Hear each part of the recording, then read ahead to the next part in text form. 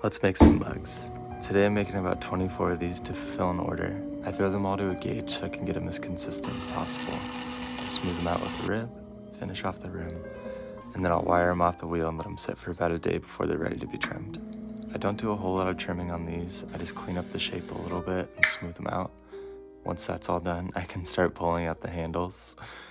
Just a nice consistent pressure. I let these sit for a little bit before they're ready to be attached to the mugs, and then I can refine the shape of the handle with my finger and a little bit of water.